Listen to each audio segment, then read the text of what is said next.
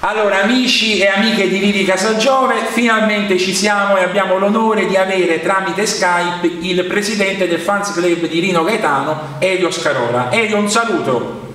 Sì, saluto tutti quanti i miei fans, che la nostra non è una pagina ufficiale, questo lo dobbiamo specificare perché alla famiglia ha una pagina ufficiale che è curata dal nipote, che non, noi non è che ci siamo dissociati, perché ormai io, io penso che Rino non ha più bisogno di grande ormai è conosciuto da tutti, diciamo che noi siamo quelli che portano un po', io mi, mi, faccio promotore della cultura gaetaniana, no? cioè di colui che ha, ha, fatto conoscere alle nuove generazioni la cultura di Rino, no?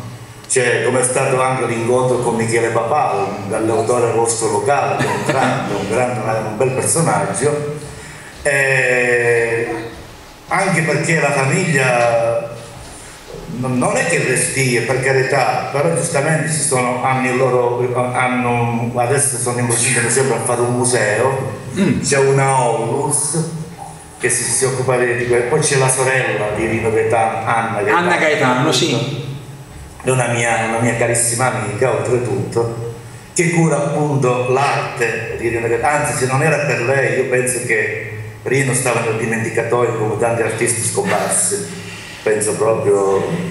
Hai detto delle belle parole Elio, di queste ne parleremo in un secondo momento, però la prima domanda che io ti voglio fare, come è nata la tua amicizia con Michele Papale? E ascolta, tu hai scritto una bella frase sulla recensione di Percorrendo, l'album di Michele, cosa ti ha colpito della musica di Michele Papale? Beh, io adesso mi faccio riferimento prima alla, al percorrendo di Michele Papale, ma io penso che ognuno di noi, no? Chi cancella i propri ricordi cancella la propria personalità perché sì. a, chi, a, chi, non è mai capitato ad esempio di attraversare una strada eh, di pensare in quel momento di essere in quel determinato posto in quel determinato dire eh, vive, ma a me mi hanno detto faccio un passo indietro vivi troppi di ricordi ma no, a me preferisco vivere di ricordi perché la vita si basa anche di questa per una certa personalità no? Io ti voglio soltanto ricordare come ho conosciuto poi ci ritorniamo magari, no? come ho conosciuto Michele Papalo. Ci siamo sentiti per telefono virtualmente, ci stato più aveva visto delle immagini del Verano di Roma dove tutti suonavano questa chitarra, queste cose. E ti guarda, che se vuoi venire puoi fare anche tu una Macerino, basta che vieni al Verano, un monumentale. Ma veramente posso fare una roba simile, ha fatto lui, ma certo. È venuto, eh, ha portato la chitarra con sé, ci siamo ritrovati, eh, ci siamo conosciuti insieme a tanti altri fans, lì con il 2 giugno sì. questo raduno diciamo, dove vanno i fans. E lui ha cantato, tutto emozionato, davanti alla tomba del cantante. No? La sorella lì tiene un tavolino, c'è un tavolo con un quaderno, un quaderno dove ognuno fa una dedica al cantautore, fa, scrive un pensiero chi porta una rosa, una rosa rossa, chi addirittura della birra, una birra in lattina hanno lasciato, no? Perché lui in alcuni suoi testi eh, parla del, del, bar del barone che lui Rino Gaetano frequentava nel quartiere Montesacro, no? Eh, bevo birra chiara in lattina perché non lo so, lui preferiva la birra chiara, cioè, e ogni cosa che fa, riferimento alla sua, alla sua arte, alla sua, alla sua proprio i, i, i fans portarono questo pensiero, questo, l'hanno messa lì, eh, non lo so, è una cosa carina e hanno a casa, ha un museo perché ha migliaia e migliaia di quaderni con tante bellissime vele.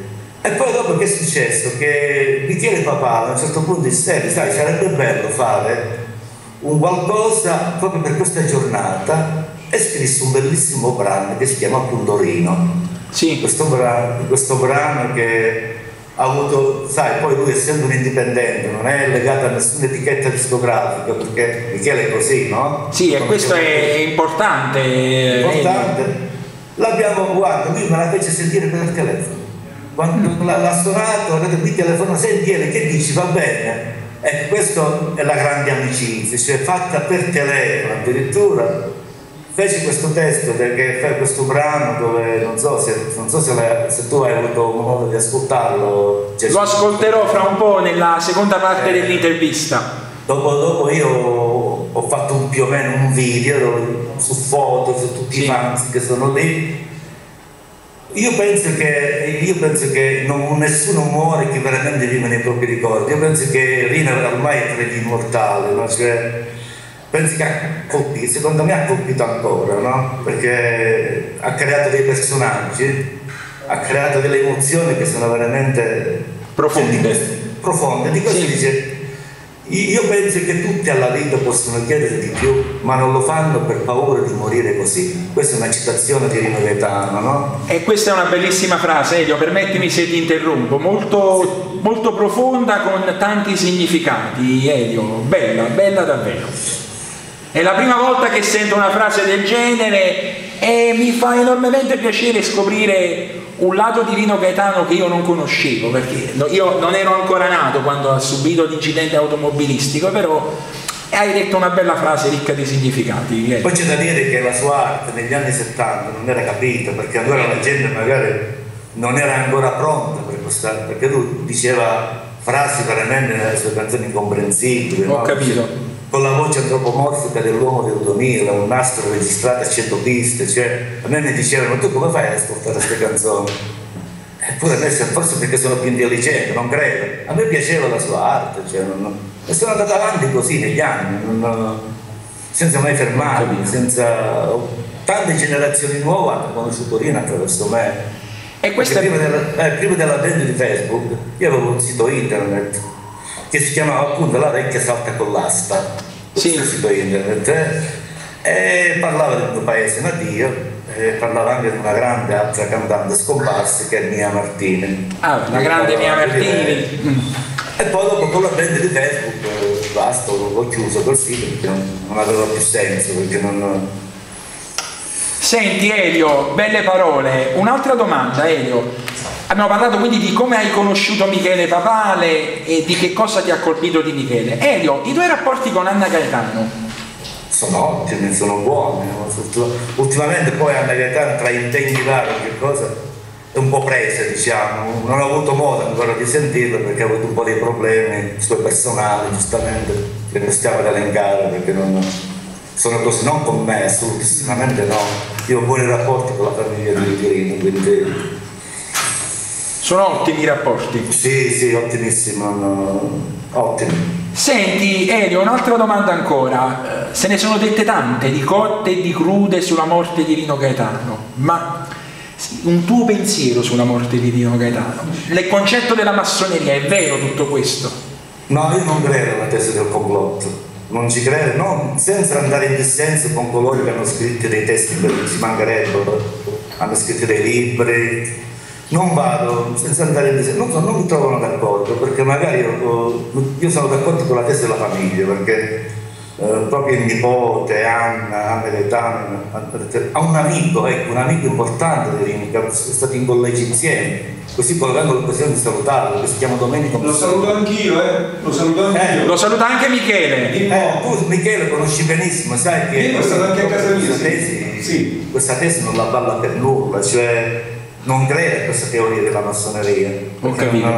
D'accordo che Rino era avanti, nel, era avanti nel tempo, diceva cose che magari, però non si può dire che è stato così da, ucciso analizzando i testi. Diciamo che era un po' anticonformista, Elio, Rino.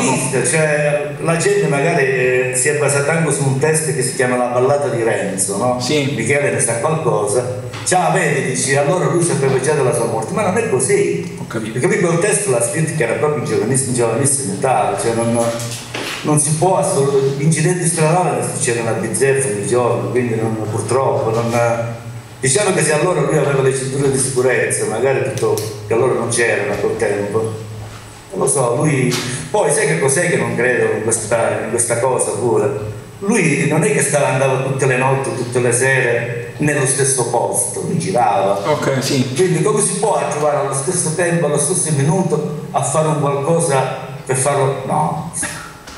E io aspettiamo a casa Giove sì, eh, senti eh. Elio per chiudere i tuoi saluti ai lettori e alle lettrici di Vivi Casagiove e un saluto particolare a Michele, dai.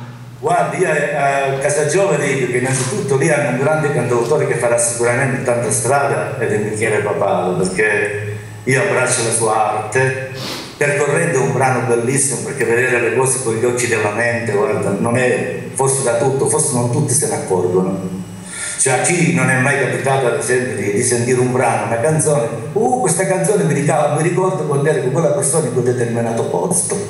Ecco, questa è la cosa che io voglio dire di Michele. Lui è una persona veramente, lo, lo trovo coltissimo, ecco, un gaetaniano puro, come lui ce ne sono alcuni, sono pochi quelli che seguono la strada della cultura di Rio. Lui è tra questi. Io lo vorrei vedere a Sanremo, eh. lo vorrei vedere a Sanremo perché faremo di tutto, magari anche con il tuo aiuto, pubblicizzandolo un po', dai, perché lui essendo un indipendente ha bisogno di una mano.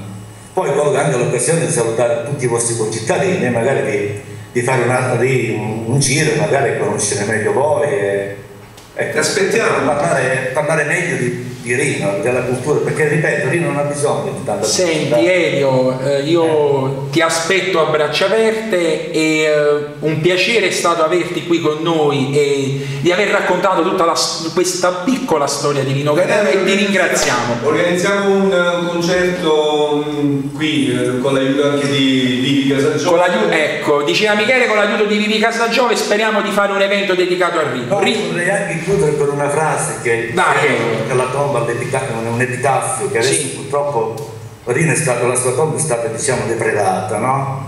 È stata depredata che c'era un bellissimo chitarrino di marmo, un marmo pregiato, che rubarono. Ah, Lo rubarono e c'era scritta questa frase che è veramente carina.